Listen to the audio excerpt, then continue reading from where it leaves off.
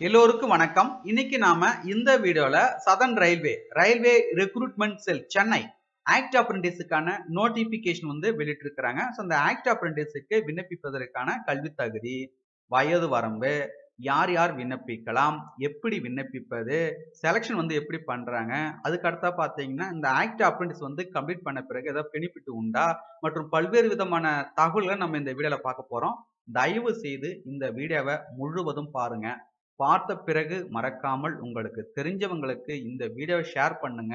அவங்களுக்கும் பயன்படட்டும். இதுவரை பிரபு எம் யூடியூப் சேனலை சப்ஸ்கிரைப் பண்ணலைன்னா மறக்காமல் சப்ஸ்கிரைப் பண்ணுங்க. கூடவே பெல் பட்டனையும் கிளிக் பண்ணுங்க. அப்போதான் நான் எப்போதெல்லாம் புது வீடியோ அப்லோட் செய்கிறனோ அப்போதெல்லாம் உங்கள் மொபைலுக்கு நோட்டிஃபிகேஷன் வந்து கொண்டிருக்கும்.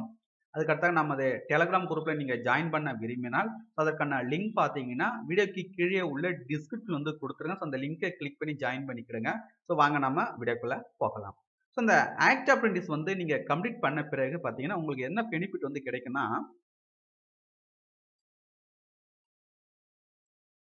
ஆர்ஆர்சி லெவல் ஒன் போஸ்ட் வந்து கால்பர் பண்ணும்போது பார்த்தீங்கன்னா ப்ரிஃபரன்ஸ் கொடுக்கப்படும்னு சொல்லியிருக்கிறாங்க சரிங்களா ஸோ அதுக்கடுத்தாக notification for carriage works Perambur, notification for central workshop Golden Rack, notification for signal and telecommunication workshop Podanur மூன்று நோட்டிபிகேஷன் பார்த்தீங்கன்னா வெளியிட்டிருக்கிறாங்க. ஸோ ஒவ்வொரு நோட்டிபிகேஷனுடைய பிடிஎஃப் லிங்க் பார்த்தீங்கன்னா இந்த வீடியோக்கு கீழே உள்ள டிஸ்கிரிப்ஷன் வந்து கொடுத்துருக்கிறேன். டவுன்லோட் செய்து ஃபுல்லாக படித்து பார்த்துங்க ஸோ விண்ணப்பிப்பதற்கான கடைசி தேதி பார்த்தீங்கன்னா முப்பத்தி ஒன்று பனிரெண்டு இரண்டாயிரத்தி பத்தொம்போது ஐந்து மணி வரை விண்ணப்பிக்கலான்னு சொல்லியிருக்கிறாங்க. ஸோ விண்ணப்பிக்கும் பொழுது ஏதாவது ஒரு யூனிட்ல தான் விண்ணப்பிக்கணும். ஒன்றுக்கு மேற்பட்ட யூனிட்டில் விண்ணப்பித்தால் ரிஜெக்ட் செஞ்சிடும் சொல்லியிருக்கிறாங்க. Applying for more then one will be ரிஜெக்டட்னு சொல்லியிருக்கிறாங்க. ஸோ பார்த்தீங்கன்னா ஏதாவது ஒரு யூனிட்ல தான் விண்ணப்பிக்கணும். தமிழகத்தைச் சேர்ந்த ஆண்கள் பெண்கள் இருபாலரும் விண்ணப்பிக்கலாம். அனைத்து மாவட்டத்தினரும் விண்ணப்பிக்கலாம். விண்ணப்பிப்பதற்கான லிங்க் பார்த்தீங்கன்னா இந்த வீடியோக்கு கீழே உள்ள டிஸ்கிரிப்ஷன் வந்து கொடுத்துருக்குறேன். அப்ளை பண்ணிக்கிடுங்க. விண்ணப்பிக்கும் முறை பார்த்தீங்கன்னா ஆன்லைனில் தான் விண்ணப்பிக்கணும். ஸோ பார்த்தீங்கன்னா மூன்று நோட்டிஃபிகேஷன் வந்து கொடுத்துருக்காங்க. ஸோ ஒவ்வொரு நோட்டிஃபிகேஷன் பார்த்தீங்கன்னா டிவிஷன் வைஸாகவும் அதாவது ட்ரேட் வைஸாகவும் பார்த்தீங்கன்னா வேகன்சிஸ் வந்து பிரித்து கொடுத்துருக்காங்க ஸோ பார்த்துங்க குவாலிஃபிகேஷனை பொறுத்த வரைக்கும் பார்த்தீங்கன்னா அகாடமிக் டெக்னிக்கல் குவாலிஃபிகேஷன் பார்த்தீங்கன்னா டென்த்து ஐடிஐ எம்எல்டிக்கு பார்த்தீங்கன்னா பன்னெண்டாம் வகுப்பு வந்து தேர்ச்சி பெற்றிருக்க வேண்டும். பன்னெண்டாம் வகுப்பு பார்த்தீங்கன்னா சயின்ஸ் சப்ஜெக்ட் வந்து படிச்சிருக்கணும். ஸோ அதுக்கடுத்த ஏஜ் லிமிட் பார்த்தீங்கன்னா ஃப்ரெஷர்ஸ் கேட்டகரிக்கு பார்த்தீங்கன்னா பதினைந்துலேருந்து இருபத்தி ரெண்டு எக்ஸ் ஐடிஐ எம்எல்டிக்கு பார்த்தீங்கன்னா பதினைந்துலேருந்து இருபத்தி நான்கு அதுக்கடுத்த ஏஜ் ரிலாக்ஸேஷன் வந்து கொடுத்துருக்குறாங்க. ஓபிசிக்கு பார்த்தீங்கன்னா த்ரீ இயர்ஸ் வந்து கொடுத்துருக்காங்க.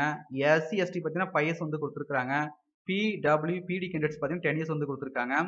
ஸோ அதுக்கடுத்து பார்த்தீங்கன்னா ப்ராசஸிங் ஃபீஸ் பார்த்தீங்கன்னா நூறுரூபா வந்து கொடுத்துருக்காங்க SC ST e, PW BD women கேண்டர்ஸ்லாம் பார்த்தீங்கன்னா ஃபீஸ் வந்து கிடையாது.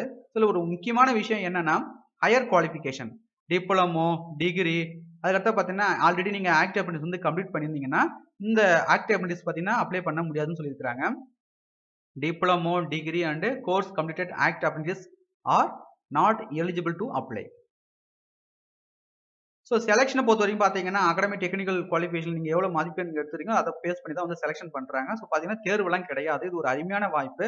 ஸோ இந்த வாய்ப்பை நீங்கள் மிஸ் பண்ணிடாதீங்க. ஸோ இந்த மூணு நோட்டிஃபிகேஷனுடைய பிடிஎஃப் லிங்க் பார்த்தீங்கன்னா இந்த வீடியோக்கு கீழே உள்ள டிஸ்கிரிப்ஷன் வந்து கொடுத்துருக்கேன். டவுன்லோட் செய்து ஃபுல்லாக படிச்சு பார்த்துங்க வேறு எதனா டவுட் இருந்தால் மறக்காமல் கமெண்ட்ஸ் பண்ணுங்க. ஸோ அதற்கான ரிப்ளை பண்ணுறேன் ஸோ இந்த வீடியோ உங்களுக்கு யூஸ்ஃபுல்லாக இருந்தால் இந்த வீடியோக்கு ஒரு லைக் பண்ணுங்க கமெண்ட்ஸ் பண்ணுங்க. முடிந்த வரைக்கும் இந்த வீடியோவை உங்களுக்கு தெரிஞ்சவங்களுக்கு ஷேர் பண்ணுங்க. அவங்களுக்கும் பயன்படட்டும். மீண்டும் நாம் அடுத்த ஒரு வீடியோ சந்திப்போம். அனைவருக்கும் நன்றி.